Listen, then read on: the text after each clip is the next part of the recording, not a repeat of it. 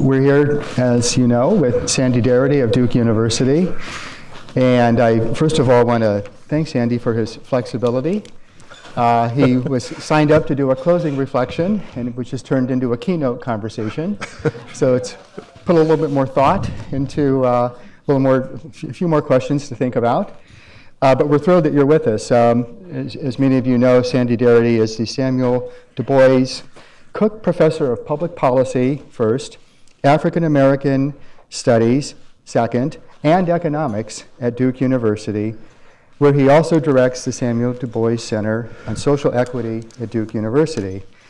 Uh, chair of the Department of African and African American Studies. Well, not now. And the founding director, pardon me? Not now. Oh, okay. Yeah. Was the chair, okay. Yeah. And the founding director of the Research Network on Racial and Ethnic Inequality at Duke. Uh, many other things as well. One thing that I did note, though, is he is also the director of the undergraduate honors program in economics. And the part that surprised me most, director of graduate studies at the University of North Carolina. Now, I understand there's a basketball rivalry between Duke and UNC, and how did you get away with that, that affiliation, and where do you sit during the basketball games?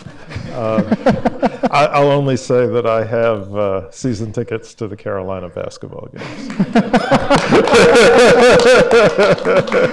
That's all I'll say on that.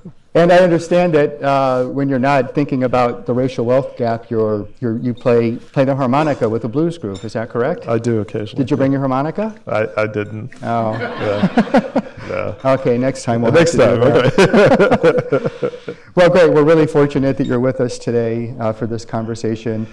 Um, I'm going to start off with a few questions for, for, for Sandy, and then we're going to open it up to all of you. So let me um, let me begin with this here. Um, I really like the paper that you and Darrick Hamilton and Anne Price and others did called Umbrellas Don't Make It Rain. Um, what, what, did you mean by that? What, what, what, what, what are you trying to get at by this concept of umbrellas don't, don't make it rain? Why, and why is that important for our symposium? Yeah. Okay, Be- before I get to that, mm-hmm. I'd, first I'd like to say thank you to you and sure. to Bill and to Lowell for having this event. Uh, it's really unusual for researchers to find to, to come up with a finding that is a puzzle to them, hmm. an important puzzle, and then to build the conference around that impo- important puzzle. So I, I, have got to applaud you all for that. So well, thank you thank very you. much. Uh, appreciate it. And, um, and also, uh, as you mentioned, Darrick and Anne Price have uh, been collaborators on this, this paper, Umbrellas Don't Make It Rain. And both of them are here. Folks have heard from Darrick, and I guess Anne asked a question at the end mm-hmm. of the mm-hmm. last session. Yes. I'd also like to mention Kilolo Kijakazi in the front row, who, uh, while she was at the Ford Foundation, uh, made it possible for us to pursue a phenomenal research project where we could look at the wealth position of communities of color in five cities in the United States. And we hope that maybe St. Louis well, so, as a matter of fact, okay. I was just talking to uh, somebody at the board about that very that very possibility. Well, this is good. Okay, so so let me talk a bit about umbrellas don't make it rain. Um, the point of the title is to uh, make make the distinction between uh, the, the, the classic difference between association and causation or correlation and cause and effect. So, you know, we, we would obviously make the observation that when, when it rains, uh, there's a high presence of umbrellas on the streets or on the, on the sidewalks. Like this morning. Yes. Yeah, okay. Uh, but we should not infer that umbrellas have caused the rainfall to take place. Okay. And so similarly, if we, if we observe that people with higher levels of education have higher levels of wealth, or people with better health outcomes have higher levels of wealth, we should not necessarily infer that educational attainment is driving the wealth outcome or uh, the health outcomes are driving the wealth outcomes. Uh, we can't conclude that education causes wealth to be higher or that health uh, better health causes wealth to be higher. Uh, in fact, uh, the reverse causation with respect to education was one of the big points that uh, Su Jin Jez made, made mm-hmm. yesterday. Uh, so, and, and I'm also appreciative of the fact that Bill Emmons and Lowell Ricketts took a great deal of care in avoiding making those kinds of causal claims yesterday. Um, and I'm very enthusiastic about their efforts to frame the analysis of education and wealth in the context of this post racial versus a structural racism perspective. Uh, but there's still a problem, and I think it's a problem which Su Jin and Molly Metzger and Darrick have all mentioned. The estimation techniques that we use typically are motivated by some assumptions we, we make about cause and effect. So the appropriate estimation technique is contingent on what we believe is the causal structure of the model. Uh, so, you know, in, I was brought up that you're not testing causation when you do these kinds of estimates. You're actually just trying to look at what the magnitude uh, is of the effects that are in question. And so, you know, whether you use ordinary least squares or something more complicated is really contingent on what you believe the causal structure is. And so when, when we have estimates of the type that were shown to us at the beginning of the day yesterday, those estimates really are predicated on some sort of implicit assumption that everything that's on the right hand side of the equation is determining what's on the left hand side of the equation. And uh, and so, so we, we run into a problem if we have on the right-hand side of our equation different types of assets and debts, which are necessarily components of net worth, because essentially what we're doing is we're estimating an identity or a definition. Uh, the best that we can say from that is that we've performed some type of an accounting exercise, but we can't really drive, derive a narrative about what are the factors that cause differences in wealth. Uh, so we would at least need some sort of model that was based upon simultaneous causation at minimum. Uh, and, uh, and, you know, we could even argue that age is endogenous to the extent that wealth might affect the longevity of people's lives. Okay, so, uh, so, so we, we have to go back to square one to develop a sound causal model. And my inclination at this point is to think that prior parental wealth during childhood might provide us the best anchor hmm. for determining a child's adult wealth. And so, uh, you know, increasingly I've been trying to think about how we might analyze that quite systematically. Um, and, uh, and, and that's sort of the foundation for the work I would like to see us push further on. Um, and I want to I want to add that uh, looking at inheritances does not adequately capture that relationship. Uh, there's also what we call in vivo transfers, which is just the fancy name for transfers that occur across generations while the donors are still alive. Okay, uh, it's the kind of donation I'd like to make to my kids, right?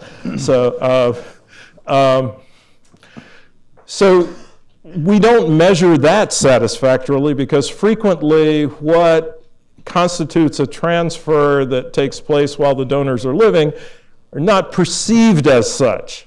So, for example, parents might support their kid going to college or university, and if you ask uh, if you ask the, the, the son or daughter, had they received a gift from their parents, they might not actually report that as a gift. Uh, because that's what parents are supposed to do, right? And so, so we don't adequately measure those kinds of transfers.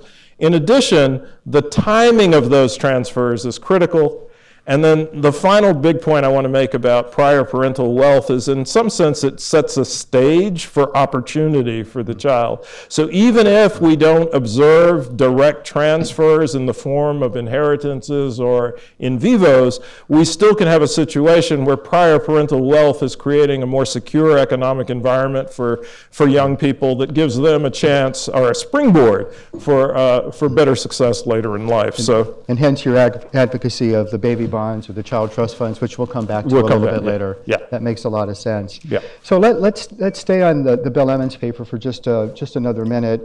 Um, and, um, uh, you know, we all appreciate the comments. We hope that that framing is helpful. Um, of course, with the structural framing, um, there's a lot we don't we don't understand. Um, and so, but my guess is that you might be more inclined to think that the structural causes are probably more driving some of these inequalities than say the behavioral model. So, if that's correct, Sandy, then you know, what is the role for choice and human agency and executive function in these terms? I mean, financial capability. You know, Angelique's comments yesterday, I think, were suggesting that there's still a really important agenda for that work. So, if these families are facing these, these structural barriers, and in our own research, we're discerning greater headwinds among minority, young, and less educated families.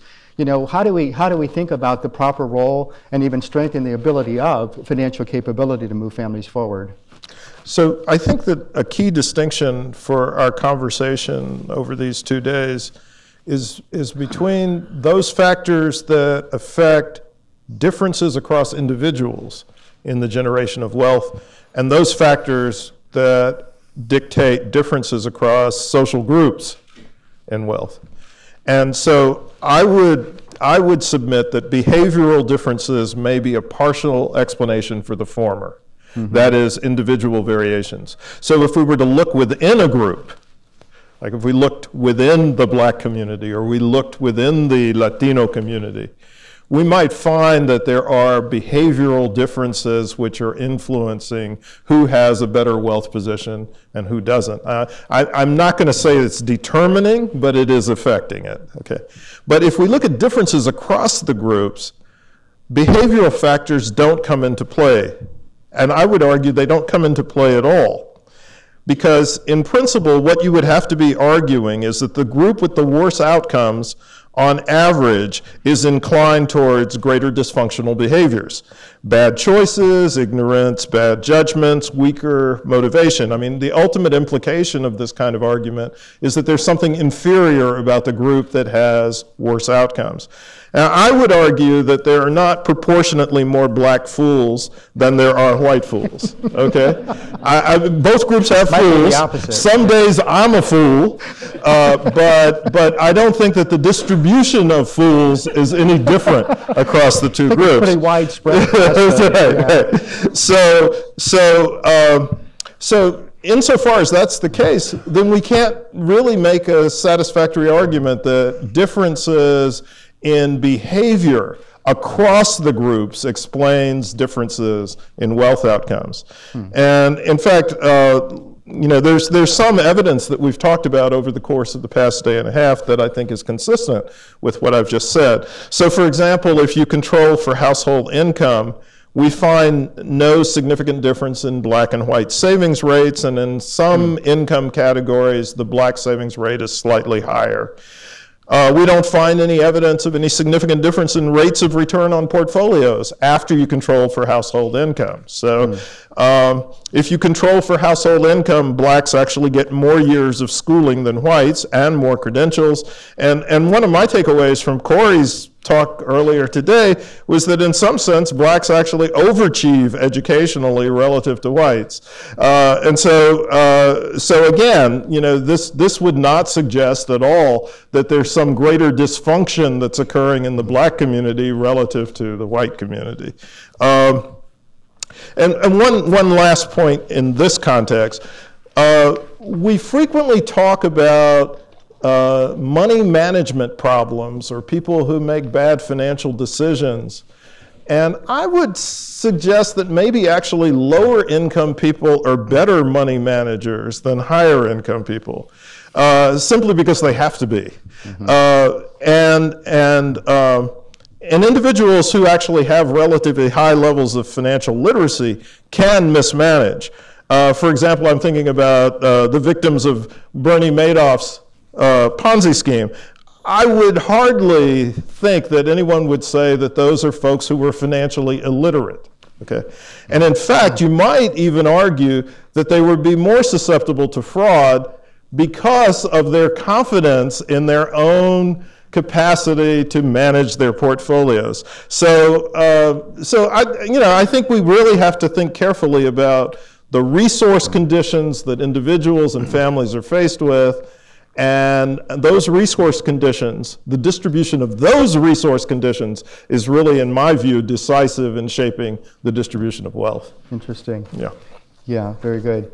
Um, so, um, sticking with the, the race theme here for a minute, or, you're no doubt familiar with uh, Robert Putnam's uh, important book from last year, um, Our Kids, uh, where he argues that the most troubling finding in America is actually not a racial divide, it's a class divide. And the class divide is being driven really by two things. Are your parents, look, speaking of kids and their future, are your parents college educated and are they married? Um, we heard in the last session the importance of um, marriage and, uh, and having a degree for wealth accumulation. Um, so, you know, and, you know, and he says that basically about a third of kids have married, well-educated parents and they're going to be fine, but up to two-thirds two thirds of kids potentially are facing a very bleak uh, opportunity structure, one very different than even a generation or two uh, before. A lot of reasons for that break, breakdown at the community, changes in family structure, economic forces, of course. So, um, you know, do you, I mean, do you agree with Putnam's analysis that it's primarily a class divide that we should be worried about? Um, and, if, and if you do think that he's right, then what, what is the significance of race then in, in, in thinking about mobility for kids? Well, obviously, I'm going to say I don't think he's right. Okay. I think everybody in the room would have predicted I might say that. Mm-hmm. Um, but I, I, think it, I think it's because there's some some complications here that um, it's not because his his observation is wrong. It's because of his interpretation hmm. of what the, that observation means. So, um, you know is the, is the problem that a child grows up in a single parent family, or is the problem that that single parent family doesn't have a significant amount of resources? And, uh, you know, I, I'm, this is anecdotal, and I shouldn't live on anecdotes, but I will use this one. I, you know, for the year, I'm living on the Upper East Side, courtesy of the Russell Sage Foundation. Okay. So I would warrant that the children who live in single parent families in the uh, East 60s and East 70s in New York City are not going to have bad wealth outcomes. Okay. But they might be in single parent families. Okay. Mm-hmm. Uh, in addition, we know that there are other parts of the world particularly the Scandinavian countries, where there's a high incidence of single parent families, but there's not the associated deprivations. And so, again, it's really contingent on whether or not the families have adequate resources. It's not exclusively a question of family structure. But doesn't, um, but doesn't isn't the divide really among single parent families with a college education versus those without? I mean, the real rise in single parent families over since 1950 has been among non college educated parents. But correct? if we go back to the racial wealth gap, Mm-hmm. we find that black and white families with similar structures, similar educational patterns, still have vast differences mm-hmm. in their net worth position. Mm-hmm. And so, uh, so, so some, there's something that race is doing in this society that is producing these kinds of significant uh, significant differences. I would argue that, in some sense, race drastically alters the odds of both your social class location, but also the wealth position that you may have access to in the society. And we know from Dalton Conley's work that uh, black kids who are born into two parent families where both of the parents are college educated have a much greater likelihood of downward mobility in the next generation than white kids who are born in similar types of families. And so there, there's something else going on uh, besides social class. I, I'd, I'd like to add that, you know, one of the things that became apparent in our conversation yesterday is that there probably is a need for more research about what the labor market outcomes and wealth outcomes are for individuals who have gone to the same schools, completed similar degrees, and, uh, and proceeded into the labor market. And we do have some preliminary evidence on that. So there's a study by Janelle Jones and John Schmitt, which finds that blacks with engineering degrees have much higher unemployment rates than whites with engineering degrees. But, to, but, but that's, that's still not satisfactory because we're not sure if the folks had degrees from the same schools. Okay?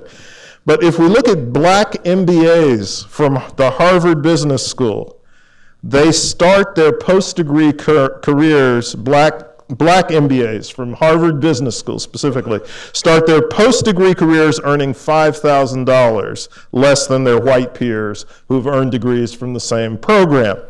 In six to eight years after graduation, though, the racial pay differential balloons to $100,000 per annum. Hmm. And in, uh, in a Bloomberg study, they found that the sector with the most inequitable compensation by race and gender is the finance sector, and that's where schools like Harvard, Columbia, and Wharton send most of their grads. So here we have folks who actually have identical, identical degrees, but very different subsequent compensation outcomes. Uh, and then there's a study by S. Michael Gaddis, and this one I think is really clever and interesting, but disturbing. So Gaddis performs an audit of more than 1,000 positions advertised on national websites using racialized names. And the way in which he arrives at the racialized names is to use um, the New York State Department of Health's birth records he looks at the name and race of the child and the name and the mother's education. And so then he creates these false profiles. And he uses the following names Jalen, Lamar, and Daquan for the black males, Nia, Ebony, and Shanice for the black females, Caleb, Charlie, and Ronnie for the white males, and Aubrey, Erica, and Leslie for the white females. Uh, and then he assigns them to uh, to schools. One set of schools that's highly selective and another that's less selective, although it may be somewhat selective. So, uh, so he pairs Harvard with the University of Massachusetts at Amherst. He pairs Stanford with the University of California at Riverside, and he pairs Duke with UNC at Chapel Hill. Okay, there you go. okay, so. Um, so despite the fact that, uh, and, and then he submits these full resumes and tries to see if he gets uh, callbacks for the individuals who are, who are uh, hy- hypothetically applying for these positions. Uh, so despite the fact that the credentials the, the credentials are from, from highly from the more elite schools improve the employer's response rate Candidates with white sounding names from the less selective schools received as strong a response as black candidates, uh, as, the, as the candidates with black sounding names from the more selective schools. Okay?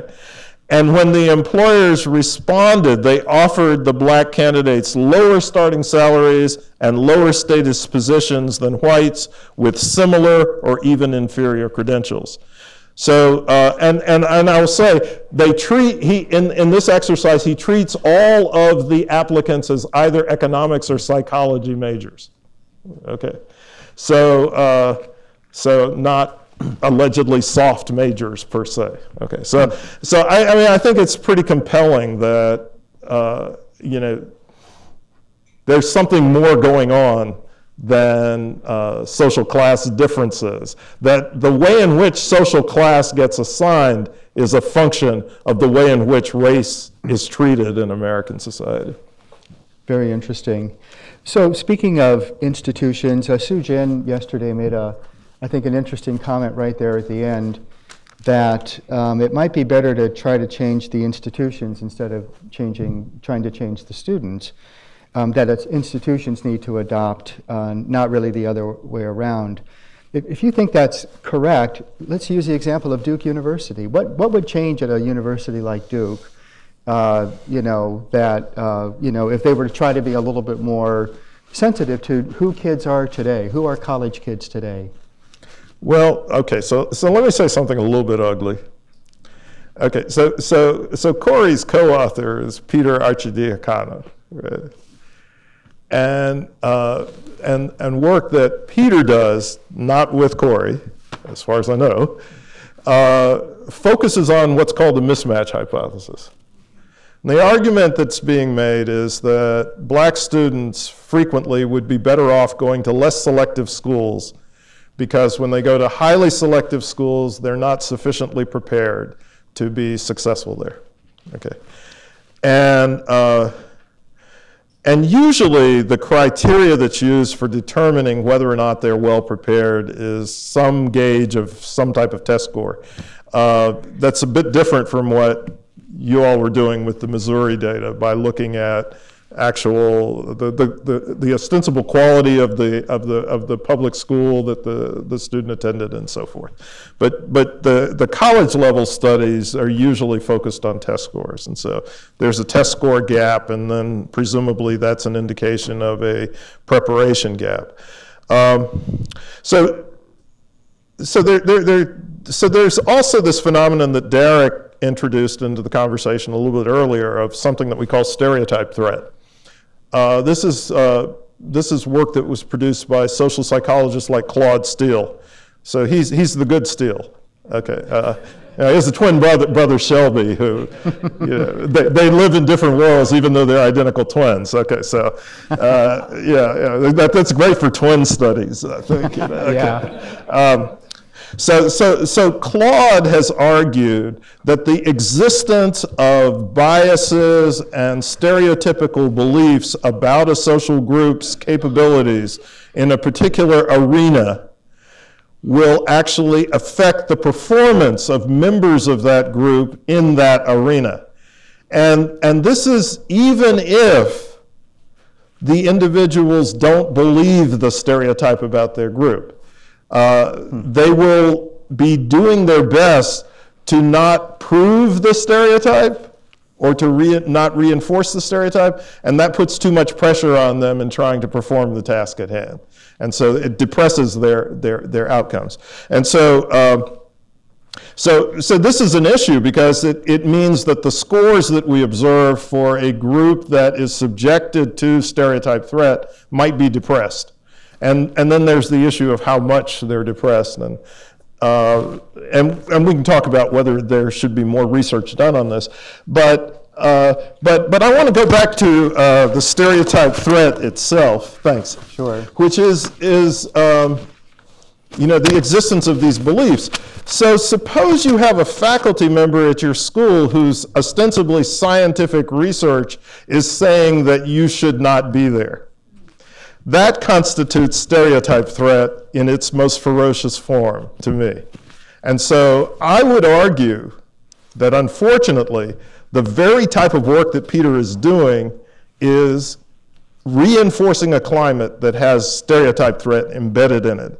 And uh, so, so that's, that's something that universities can change hmm. is, is this attitude or outlook or belief that is perpetuated that certain groups of students really shouldn't be there at all. Hmm. Okay, so that's, that's the internal change. So there's a lot of work to do beyond admissions. Yes. Yes. Yeah, yeah, yeah. And, and you know, the other thing that emerges in, in Peter's work is this, this observation that black students shift from the STEM fields more frequently than white students do. Hmm. And, uh, and, and I would argue that that's not simply because uh, they find those fields to be too difficult, it's also because how, of how they're treated by the faculty members and their peers when they try to go into those fields. Uh, so that's another thing that needs to be addressed. So I think hmm. that there's some internal climate issues hmm. that really do have to be addressed. But, uh, but I also think that there's some structural conditions external to the university that are critical. Uh, that um, we, we want to have a situation where more and more students don't have to worry about the financial dimension of their education. Uh, and, and I think that there's a larger proportion of black students who do have to worry about that. Mm-hmm. Um, I, Right. I think it was, you know. They all can't get into Harvard Harvard. with a well endowment Right. to, to take care of their tuition. tuition, right. Right. Or, yeah, and, and, or, or Princeton, where people wonder why they even charge tuition, but, you know, Right. that's another issue. Right, right. Yeah. So I have just a couple more questions about sort of responses and solutions before we open it up. Yeah. So thinking beyond the university, um, there's a Brookings paper out by Belle Sawhill and Richard Reeves that cite you and Darrick uh, as proponents of what are called race-conscious policies. Um, so um, what exactly is a race-conscious policy, and how's that different than, say, a race-based policy? And do you think there's some promise uh, with that approach? So I guess instead of race-based, I'd like to say race-specific. Race-specific? Sure. Okay. Okay. So a race-specific policy is a policy that targets a particular group, uh, particular racial group. I mean, I'm using the term race. It could be caste-specific. It could be gender-specific. Uh, but uh, but there's a particular group that's being targeted by the policy. A race-conscious policy, in contrast, is one in which uh, the, the, the policy is applied universally, but it's applied universally in such a way that the group that's in the relatively deprived position gets a disproportionate benefit. So it's, it's, uh, it's not race neutral, but it's also not race specific. And so that's, that's, that's what we mean by that. And I, I think that they were, they had in mind in that particular article our baby bonds proposal. They, yes, that's Yeah. the specific example, which was my next question, which is a great segue. okay. So, um, so the baby bonds idea is, uh, is not, it's not a bond. It's really the provision of an endowment to every newborn infant in the United States. And uh, so the, the idea is that wealthy families typically create endowments or trust funds for their children. So why shouldn't every child have a trust fund or an endowment?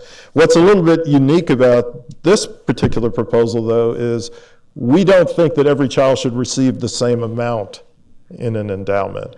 That the endowment amount should be stratified based upon the family's wealth position. And so, um, so you know, in, in, in my stump speech, I usually say uh, if, if Oprah Winfrey or Bill Gates had a new child, we'd give them a $50 endowment.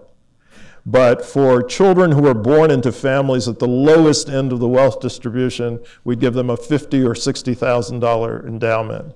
We would guarantee a one percent real rate of interest on these accounts, and they could access them when they turn 18 years of age. Uh, if we're concerned that that these kids will make foolish decisions, since it's public funds, then I guess we're not completely disturbed about the idea of, of, uh, of, of placing restrictions or limits on what the, the funds can be used for, although that is paternalistic, but uh, you know, that's okay, it's public money. So, um, so that, that's the basic idea. Why is it race conscious? Well, it's race conscious because the wealth distribution looks so different for blacks from whites, and so there would be uh, disproportionately larger endowments going to black kids uh, than white kids on average. Um, So but, something but everybody, everybody. but everybody gets, gets Right. something. So Right. this is a more radical version of the proposals that are actually in law right now in the U.S. and throughout the world and have been proposed in legislation. Yeah. Where the bump up for poor kids, uh, usually by income, not by race, um, has been twice, you know, maybe. So, uh, you know, $500 for all kids was a bill I worked on in, when I worked in the U.S. Congress. Yeah. And uh, $1,000 for poor kids. And you're proposing something far more Far more, ambitious and yes. based on wealth Yes. with an explicit focus on race. No, no, no. I say it's a universal. No, Program. no, no, but I'm saying, no, but, but, but the, but the supplemental deposit would, would be based on, No, no, no, no. There's there's no supplemental No. deposit. There's a, a fixed deposit that's, that's Everybody given, gets. that everybody gets, Right. But it's based upon the wealth position of the family. So the, the Oh, only argument I'm I making is understand. that there there so the there are proportionately more blacks at the lower Right, end of the right. wealth distribution. So those kids would get the larger deposit. Mm-hmm. Okay, so it's it's race conscious in that sense, Mm-hmm. but uh, but no, there's no uh, there's there's no premise involved in the allocation of the funds that's predicated on the race of the, of the recipients. So this is different from another program that I think we need to give serious consideration to, but people always scoff, which is reparations, which would be a race-specific program. Right. Uh, but, but, but the baby bonds proposal would be for, for all American kids. Yeah, Yeah. fascinating.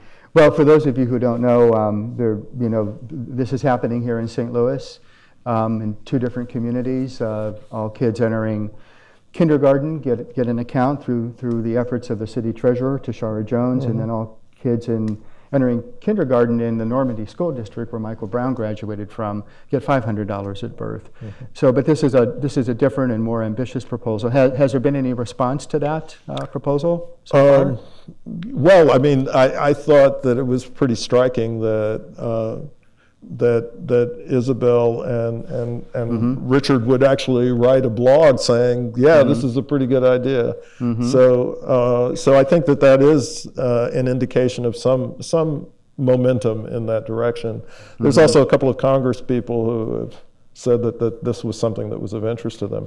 Sure. I, I want to I want to distinguish this proposal though from the savings accounts proposals Mm-hmm. because there's no in in in the proposal that Darrick and I have developed, there's no uh, obligation for families to make any kind of matching commitment to the fund, and in fact, we don't want them to do that.